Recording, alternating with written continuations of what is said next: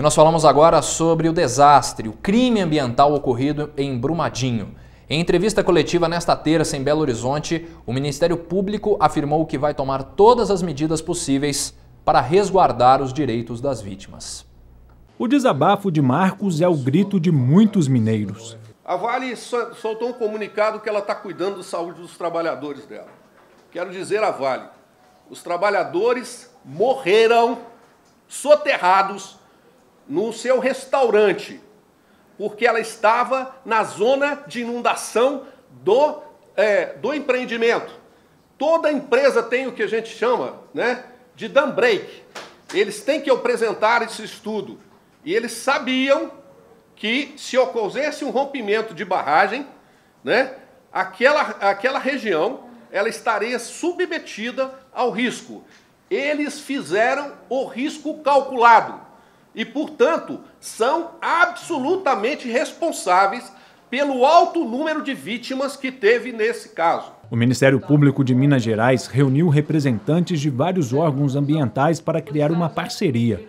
A ideia é atuar contra o descaso do poder público com relação ao setor da mineração. Tem duas questões que são extremamente estratégicas e que estavam naquele relatório que não foi aprovado.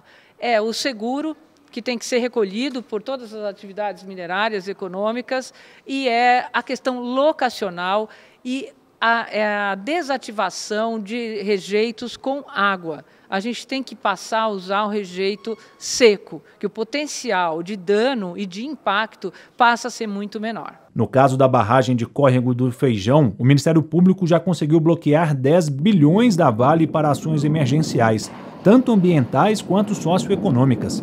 O governo de Minas conseguiu mais um bilhão.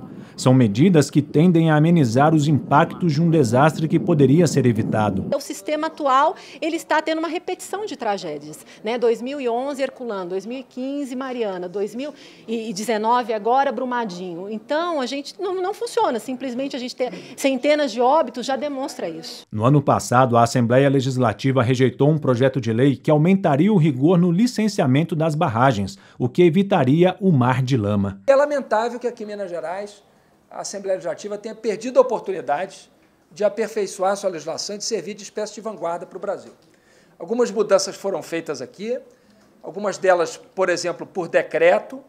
É fundamental, eu me refiro aqui à proibição de construção de represas de montante, então é importante que isso seja transformado em lei, e nós vamos, em contato com o Ministério Público, com a Força Tarefa, procurar aproveitar tanto esse projeto de lei que foi rejeitado, como também outras ideias que já estão surgindo aqui no âmbito do Ministério Público e das demais entidades envolvidas nessa força-tarefa, para apresentar e tentar aprovar projetos de lei que tornem a legislação mais protetiva da vida. Nós também não queremos que, diante dessa tragédia, seja aprovada uma legislação que ela não garanta segurança e também um licenciamento adequado para as barragens. Então, estamos atentos a isso.